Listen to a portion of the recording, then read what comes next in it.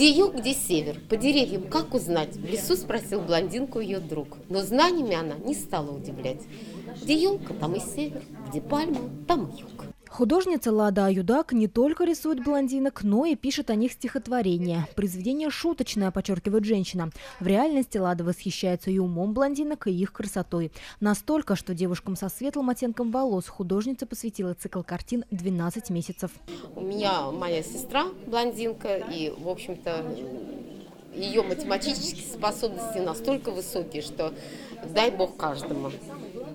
Я думаю, что совершенно это неоправданно. Но вот беда в том, что у нас блондинок э, все меньше и меньше рождается. Работа она сделана в 1969 году. Я еще тогда был холостой. Так что вот это моя, можно быть сказать, первая симпатия. У Рушана Шамсудинова с блондинками давняя история. В молодости он создавал образ Олтенщещ, златовласки из татарской легенды на фабрике сувениров. Вдохновение, вот что дарят ему белокурые красавицы. Любви к женщине родилось все прекрасно на земле. Без женщины нет ни поэта, ни художника, ни героя. Так что ни негодяя, сами знаете. Все связано с женщиной. Первое, что увидел человек, это лицо матери.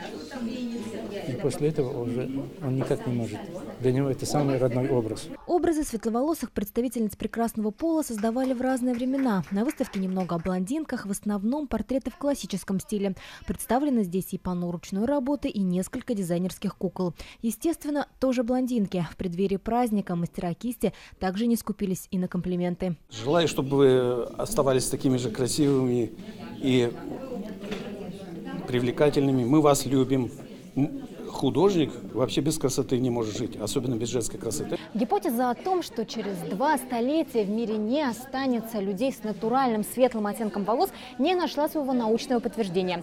Тем не менее, Казанское отделение Союза художников рекомендует беречь блондинок, ведь в них, если верить мастерам кисти, неиссякаемый источник вдохновения.